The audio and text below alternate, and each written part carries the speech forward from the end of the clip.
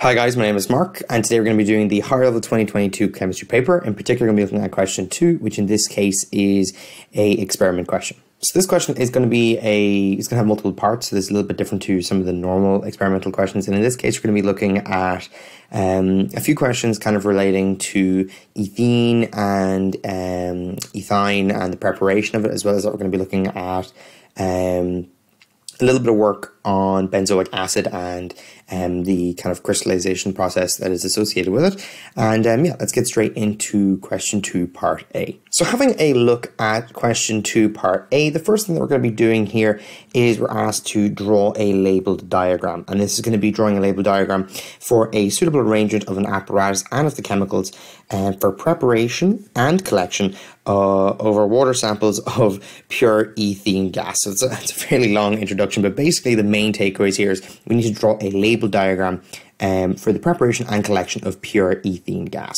Um, and then after that, we're asked two questions based upon that. The first one is going to be in part I, which is going to be the how do we avoid um, the suck back of cold water into the reaction vessel, which is a common problem associated with this experiment.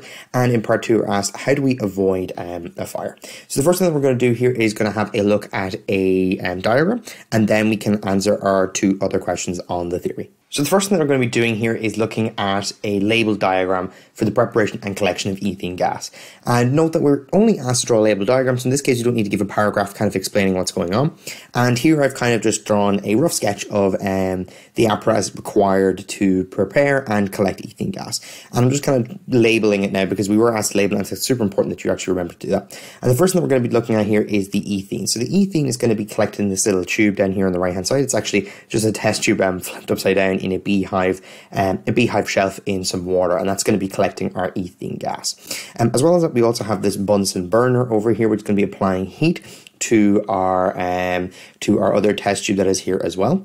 And um, inside the test tube, there's a few important things. First thing we're going to know is that there's some glass wool soaked in ethanol. This is going to be kind of bunched up at one end of the um, test tube, and as well as that, we also have some alumina in the middle or aluminium oxide, and that's going to be kind of um, a powdery substance found in the middle of the test tube. So the important things to note whilst um, kind of doing this diagram, the important things you need to remember to include is the glass wool soaked in ethanol, the alumina that we've already covered, so the alumina down here, um, the Bunsen burner or any form of like heat source, um, and as well as that we have our ethene, which is you know what we're kind of looking to create as well in this example. And um, yeah, these are kind of like the important things that you want to include. You can obviously label a few more things. You could label the beehive shelf and the delivery tube and all this other stuff, but the main ones are um, these few um, kind of points here. So for this diagram, there was a total of nine marks going, and the breakdown went as follows. The first thing you need to do was include a the kind of glass test tube holding the ethanol and um, soaked glass wool, which is going to be where you get your first three marks from. You also get another three marks for including um, this heat source, which in this case is our Bunsen burner. And then finally, you got three marks for including the alumina, which is inside of the test tube. So taking a look now at part uh, one and two of the theory for question A, we're going to be asked how do we kind of uh, prevent against uh, suckback and fire. So for part A, we're going to be kind of tackling that first question, which is how do we avoid suckback? And the required solution in this instance is going to be that suckback can be actually avoided by lifting the delivery tube out of the water prior to removing the heat. So in this case, our source of heat is going to be that Bunsen burner, and as long as we lift the delivery tube out before we remove that Bunsen burner, um, what you'll find is that there's no vacuum created, which means that there's no suckback um, uh, you know problem that you'll find. Um, and then for part two, we're asked how do we avoid um, fire occurring? And in this case, the easy answer that's kind of required here is that keeping the ethene gas separate from the flame, because ethene is going to be in itself quite flammable, and you know as long as we keep them separate from uh, the gas, separate from the flame, should I say, it will actually um, dramatically minimize the chances of fire. In this case, there was a total of four marks going for each of these. So the first one, you're going to get four marks for including the way I went about this answer was removing that delivery tube from the water before uh, removing the heat. A few different ways you could have kind of gone with that is by saying you just loosen the stopper, or another way is just saying you know just make sure not to cool, uh, make sure not to turn off that Bunsen while it's in the water. Um, and then for part two, you also got another four marks for getting this one correct. And in this case, I went for just making sure the ethene gas, which is flammable, stays kind of separate from the flame. And another couple answers that you could have gone with is something like avoiding um, leaks uh, of the ethene gas, making sure all the stoppers are very kind of tightly sealed. Um, you could have also mentioned, um, you know, keeping um, you know, the close the container of ethanol after you set up, or kind of just removing that flame, which is kind of what we went for in the end. So moving now on to part B here, we're going to be looking at um, some of like the tests that you can perform on ethene gas that kind of verify some of its properties. In this case, we're told that some ethene has been bubbled through a reagent, um, as shown in this diagram on the right hand side. It's this diagram over here. And we're asked a few questions based on this. What we're asked is what color change is observed when the reagent used is acidified, dilute acidified KMnO4, and as well as that we're also asked about bromine water. So basically what we're doing is mixing this ethene gas with um, a reagent and we have two reagents in this case we're being asked questions on. The first one is that dilute acidified KMnO4, and the second one is bromine water. And we're going to be asked what is the color change associated with each of these.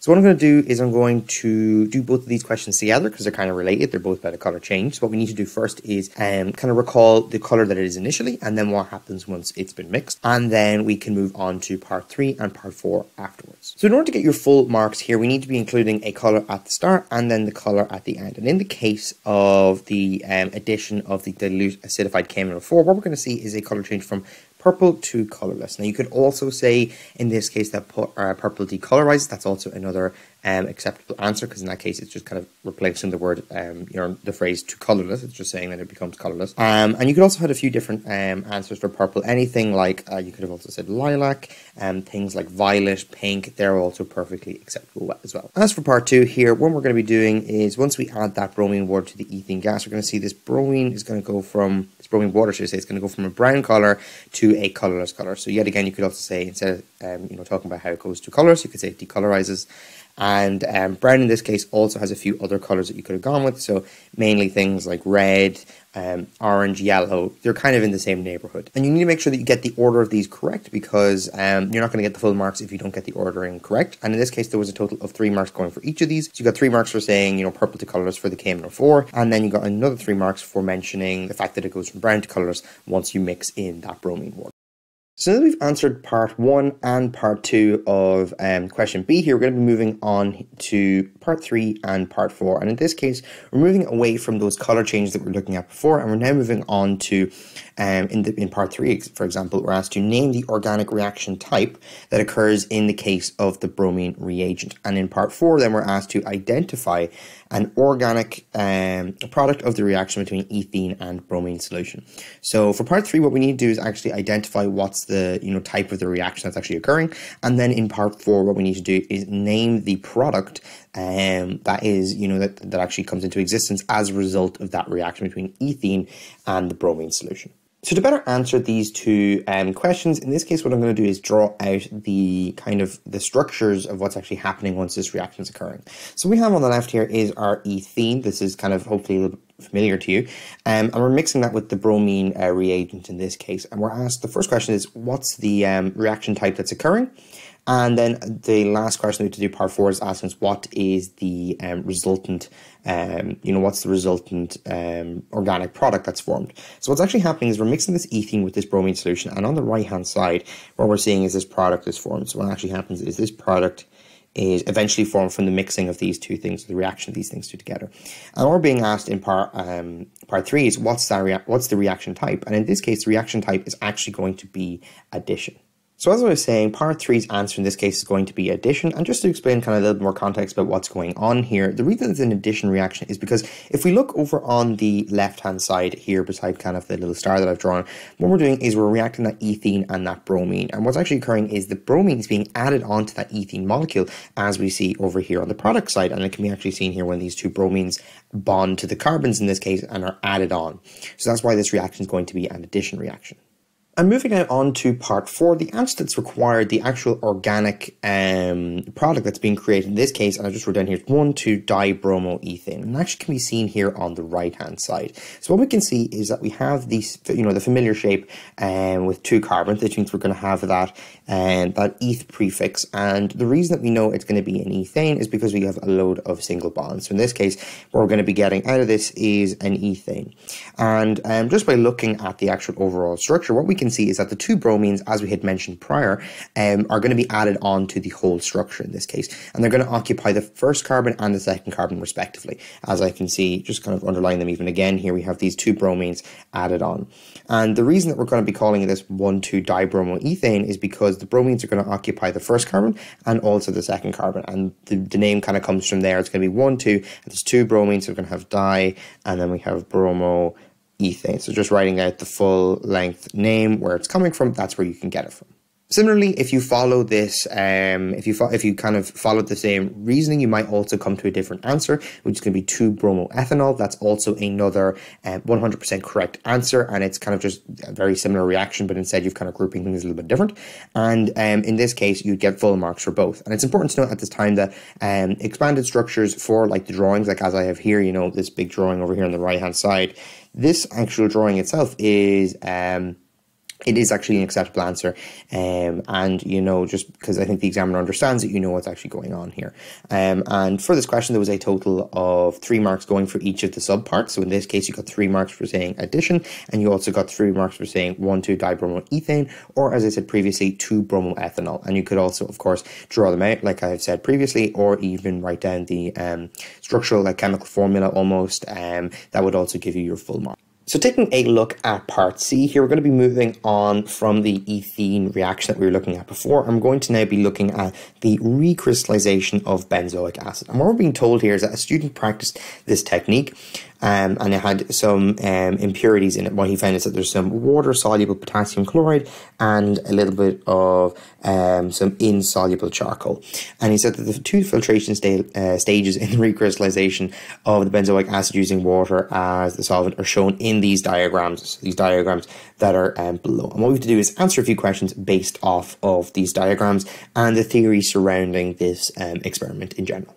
So taking a look at part I here, we're going to be asked to identify the substances that collect at locations X, Y, and Z. So they're going to be um, three distinct, um, three distinct compounds and uh, substances. In this case, they're going to uh, be found at these little uh, different locations. And what we have to do is kind of label them. And what I'm going to do is I'm going to label them first, and then I'm going to go through kind of what's happening to reach those points. So taking a look at what's actually occurring in these diagrams, what we're doing is we're actually pouring this um, mixture here through um, some filtration paper in a funnel here. And what's going to happen is by pouring it through the um, this kind of filtration paper, what you're going to uh, see occurring is that all the insoluble um, impurities are going to be filtered out. So anything that's insoluble is going to be filtered out. Now, if we recall from the question, we are actually told that there was going to be a few um, impurities throughout. There was going to be something that was soluble and there's going to be insoluble, and the insoluble one in this case was charcoal. So this means that the actual um, substance that's going to occur at X is going to be charcoal, and it's because it is insoluble, so it actually can't pass through um, the filter paper in this case.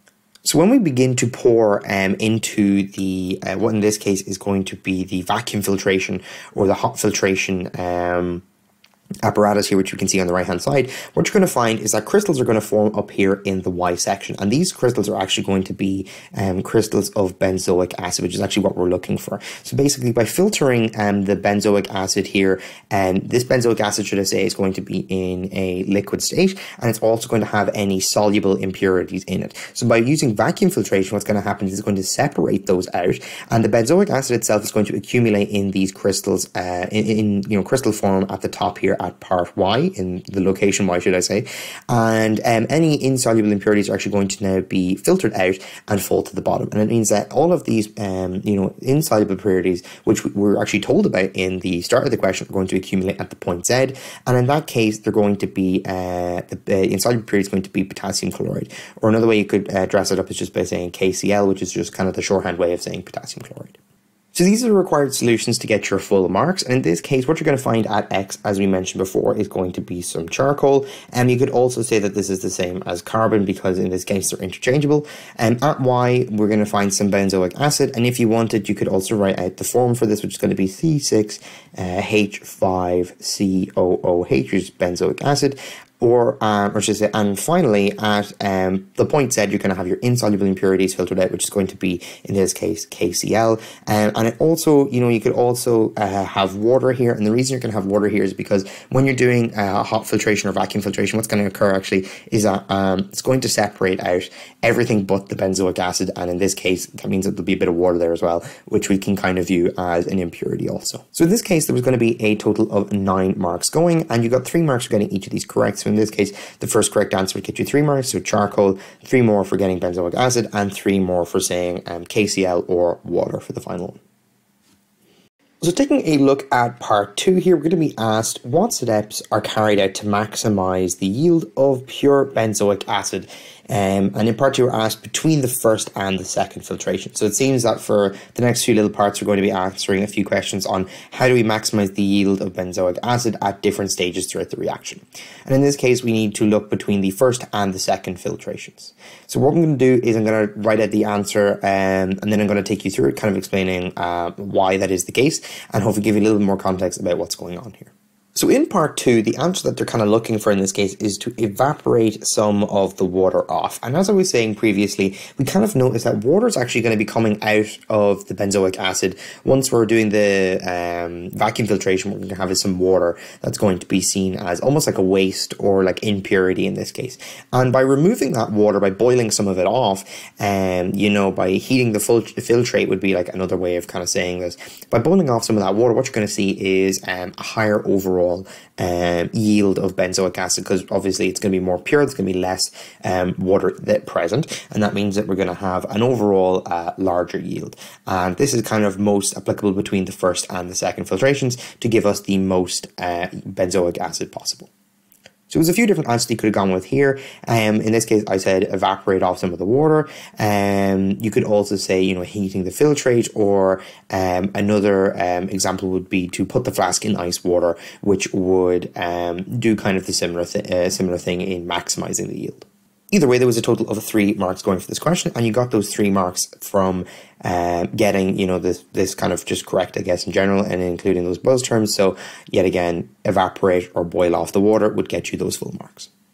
So moving now on to part three here, asks how can we maximize that benzoic acid yield after the second filtration? And very similar, and I should say very similarly to the previous question, what I'm going to be doing is writing out the correct answer and then taking you through it and explaining why that is the case. So in this case, the required solution to maximize that yield of benzoic acid after we have um, gone through the second filtration is that it should be then washed with ice cold water. And by washing it with um, an ice cold water and then drying those crystals, what's going to happen is more of the crystals can be more of those crystals can actually be recovered and formed, which is overall once again going to lead to that higher um, yield of the benzoic acid. Now, there's a couple different ways. Once again, you could have approached this. One of those could be to rinse the flask in which the crystals formed into the funnel, and this will actually help you create more um, or collect more, should I say, more crystals, which would yet again increase your overall yield. But in this case, the solution that I went with here, I feel like is the easiest one to remember and would probably the one that comes to my mind in an exam.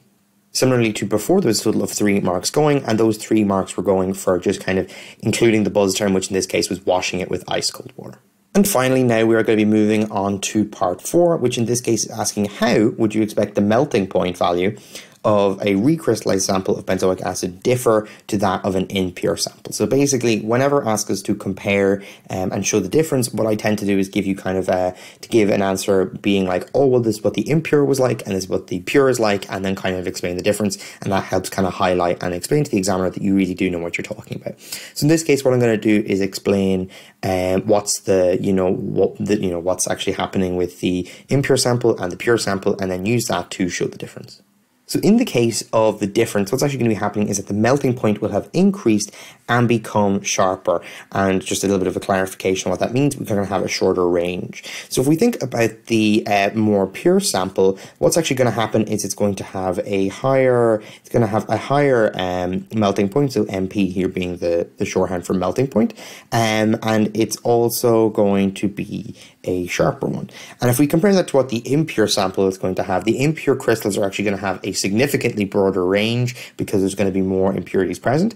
And similarly, those impure crystals are also going to have a much lower, um, a much lower melting point. So the important takeaway from this answer is that the pure sample is going to have a higher melting point and a sharper melting point, um, and that means that overall the melting point between the two um, will have increased and become sharper with a shorter overall range. So if you got this um, correct, you'd be getting a total of six marks, and those six marks were just kind of going for explaining um, what the difference is. And you could have um, taken either road here, just kind of making sure the examiner understands that you know the difference is kind of how you get those six marks. In this case, explaining that the melting point is increased and much sharper for that higher uh, purity sample um, versus the lower purity sample would get you those six marks. Um, and yeah, that's how you would kind of um, make sure to get the full marks in this question.